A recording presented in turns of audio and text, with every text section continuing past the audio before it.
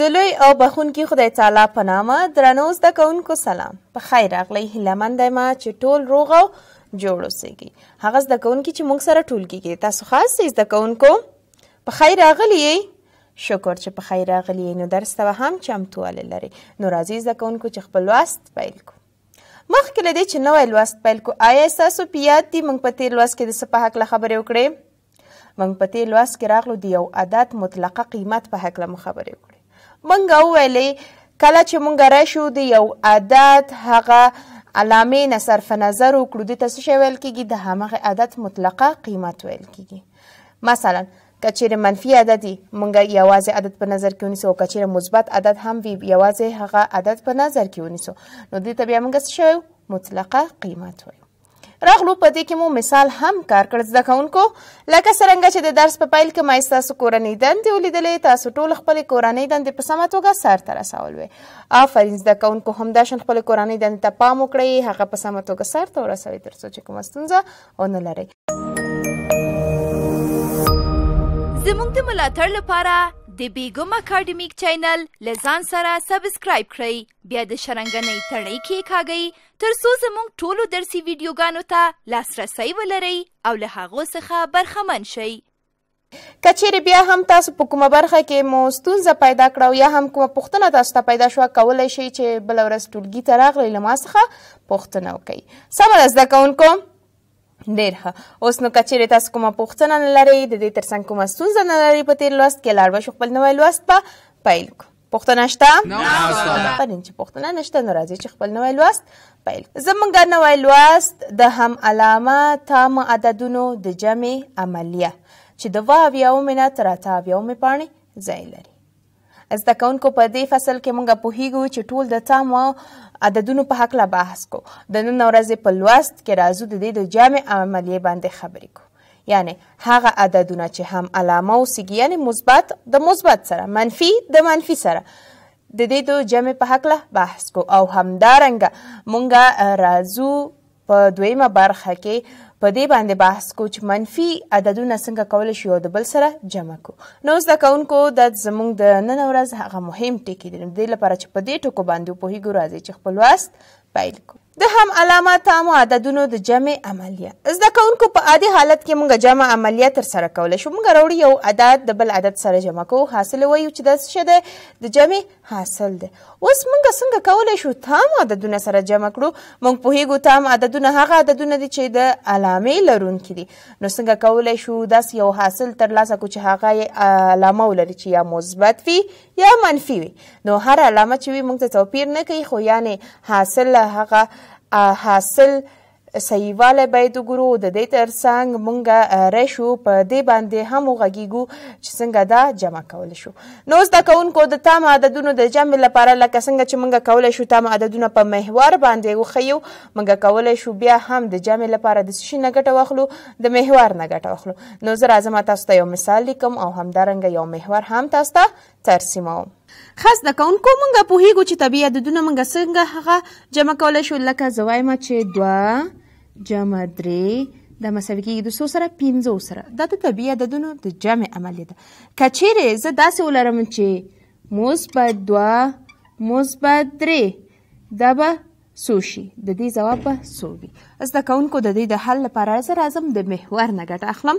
محور کې زه څه کوم محور کې زه راځم لومړی دوه خانې تعینوم زده کوونکو تاسو ګورئ مثبت یو مثبت دوه نو راځم د دې ځای څخه دلته وایم چې دا څه شی دی دا مثبت دوه دی اوس راځم مثبت درې ګورم له دې ځای څخه زده کوونکو راځم مثبت درې ګورم که چیرې زره شما دا د دې ځای څخه واصل کوم تاسو به وګورئ چې دا څه شی دی دا مثبت درې دی مثبت دوه مثبت درې اوس څنګه کولی شم چې دا سره جمع کړم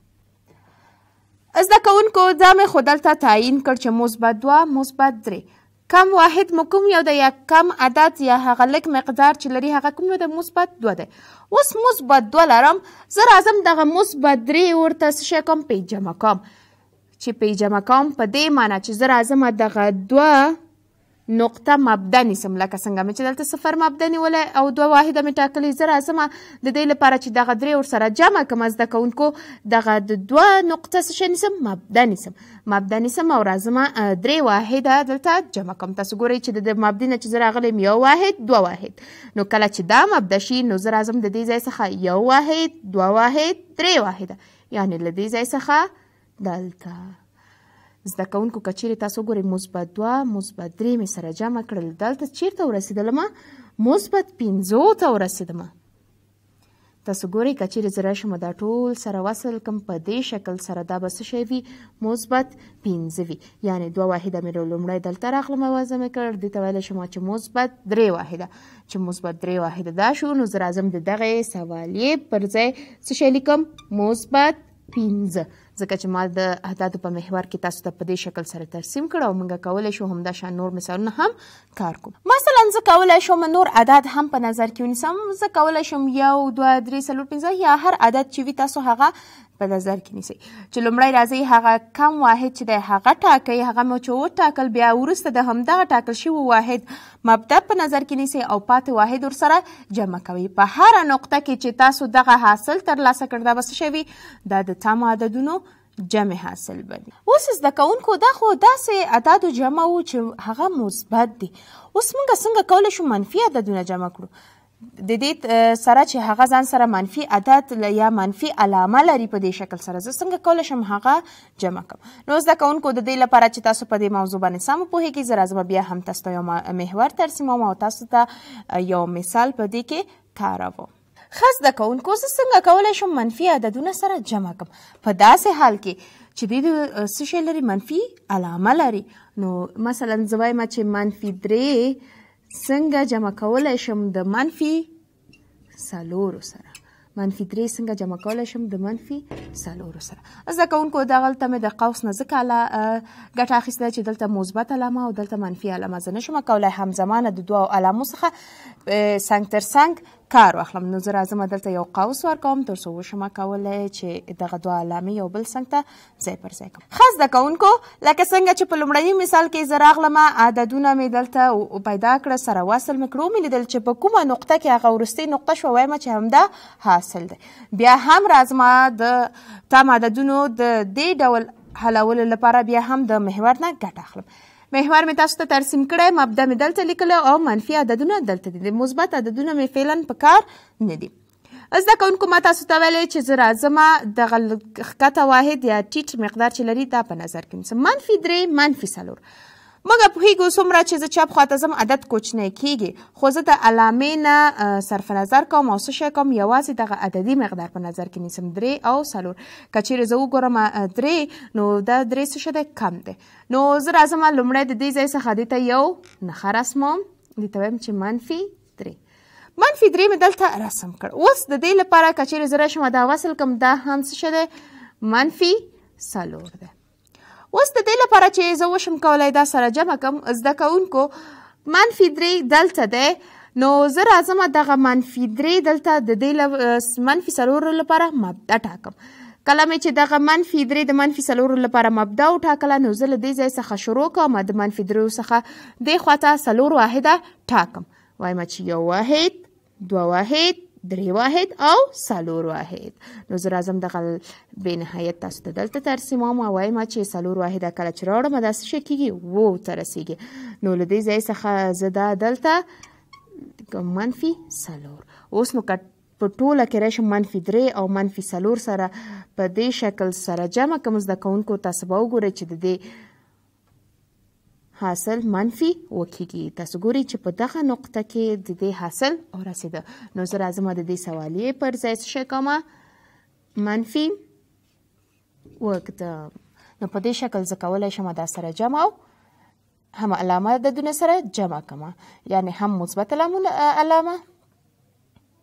یعنی هم کولای شم مثبت علامه لرونکي عددونه سره جمع کوم او هم کولای شم منفي علامه لرونکي عددونه سره جمع کوم خاص د کوونکو یعنی مونږ راغلو خپل د نن ورځې په لوست کې د هم علامه او تام عددونو د جمع په حق لمو خبرې وکړې دا مونږ ته مهمه نه ده چې آیا دا مثبت علامه لرونکي دي که دا منفي علامه لرونکي وي که چیرې هم علامه اوسیږي نو مونږ راځو دا سره جمع کوو اوس نو زده کوونکو که تاسو کومه پوښتنه لرئ کولی شئ له ما څخه وپوښتئ استاد زه یوه پوښتنه لرم فرین قاطره پوښتنه لري ستا پوښتنه څه شی ده ایا پرته له دې چې محور رسم کړو کومه بله لاره هم شته چې عدات جمع کړو ډېر ښه آفرین زده کوونکو تاسو ملګری فاطمه پوښتنه کوي وایي چې استاد زه کولی شم چې پرته د دې چې دلته محورونه ترسیم کم یعنی یو بل لنډ لاره موسیږي چې زه دغه عددونه سره جمع کم یعنی که مونږ راشو هر ځل کې محور ترسیم کو او دا سره جمع کړو نو دلته زمونږ وخت هم زیات ضایع کیږي او د دې ترڅنګ زمونږ دغه کتابچه یا د دې مصرف هم زیاتیږي نو مونږ د هغه طریقو څخه ګټه اخلو چې وشو کولای خپل دغه د سوال د حلولو وخت راکم کو یعنی خپل سرعت زیات کړو او په اسانۍ سره یو سوال حل کړو نو زده کوونکو د دې لپاره زه راځم تاسو ته لنډه طریقه وایم هغه په دې ډول چې زه تاسو ته مثال هم کار کوم خو د دې لپاره ما تاسو ته محورونه ترسیم کړ ترڅو تاسو په هغه اصلي مفهوم باندې وپوهیږئ نو موږ کولی شو د لنډو طریقو څخه هم ګټه واخلو مثلا ما زه راځم وایم چې مثبت درې مثبت څلور مثبت درې او مثبت مثبت درې جمع مثبت څلور د دې حاصل به څو شي زده کوونکو که چیرې تاسو وګورئ مثبت درې مثبت څلور یعنې دواړه هم علامه دي اوس د دې لپاره زه څه کوم چې دا سره جمع کوم زه ګورم چې د دوی د علامې یو شان دي نو زه د دغه مساوي علامو څخه یوه علامه اخلم سوال یې پر ځای دلته لیکم مثبت دغه خو د جمع د عملیې لپاره د دې سره مو کار نشته یوازې دغه د عددونو علامې ته ګورم دا مثبت د دې مثبت د مین څخه مې یو مثبت څه شی ونیول مشترک ونیول اوس درې او څلور عددونه سره پات شو زه راځم عددونه سره جمع کوم په عادي توګه مثلا طبیعي عددونه موږ جمع کوو وایو چې درې او څلور څو کیږي و کیږي نو وایم چې مثبت و مثبت و په دې ډول سره جمع کوم همدارنګه زه منفي عددونو لپاره هم داسې عمل کوم وایم چې منفي څلور جمع منفي اته د دې حاصل به څو شي بیا هم که چیرې زه وګورم منفي څلور منفي اته دلته د دواړو علامې څه دي یو شان دي او منځ کې دغه مثبت چې ده یعنې دا د جمع عملیې لپاره کارول شوې ده دا داسې نه ده چې د دې عددونو علامه به وي نو عددونه علامه یې د دو سره په قوس کې لیکل شوی نو منفي څلور منفي اته د دې د حلولو لپاره بیا هم په دې ډول سره عمل کوم زه وایم چې د منفي علامو څخه یوه مشترکه منفي علامه نیسم څلور او اته څو کېږي زده کوونکو دولس څلور اته دولس دا شو منفي دولس که چیرې زه راشم محور هم ترسیم کوم تاسو وګورئ چې په همدې شکل سره منفي دولسو ته دا رسیږي او دا هم به مثبت اوو ته رسیږي یعنې مونږ کولای شو هم علامه تام عددونه په دې ډول هم سره جمع کړو چې د مشترک علامو څخه یو ډول علامو څخه یو مشترک علامه نیسو او وروسته له هغې دغه عددونه سره جمع کو او یا منفي کې هم په همدې ډول کو دغه یو ډول علامو څخه یو مشترک علامه نیسو او د عددونه سره جمع کو په لنډ ډول په دې ډول سره حلولی شو نو د دې لپاره چې موږ وشو کول خپل د وخت د ضایع کېدو څخه مخنیوی وکړو او همدارنګه خپل د هغه سوالونو حل سرعت زیات کړو نو موږ کولی شو د لنډه طریقو څخه هم ګټه واخلو پوه شوې فاطمه جانې ډېر ښه خاص د کونکو دا او زمونږ د نن ورځې لوست اوس نو کچېرې لوست مو زده کړی او کومه پوښتنه هم نه لرئ نو لاړ به شو کورنۍ دندې په لور لوست مو زده کړ ډیر ښه نو راځي چې لاړ شو کورنۍ دندې په لور زده کوونکو ستاسو کورنۍ دنده دا ده چې د اته اویاومې پاڼې په پای کې چې کومې پوښتنې راغلي هغې ته ځواب وایي که چیرې بیا هم تاسو کومه برخه حلولی نه شوه کولی شوئ چې بله ورځ ټولګي ته راغلئ له ما څخه پوښتنه وکړئ نو دا اوس زده کوونکو زموږ د نن ورځ د ریاضي لوست تر بیا د ریاضي نوي لوسته پورې ټول په لوی څښتن تعالی سپارم د بل درس له پیل وړاندې لنډه دمه اخلو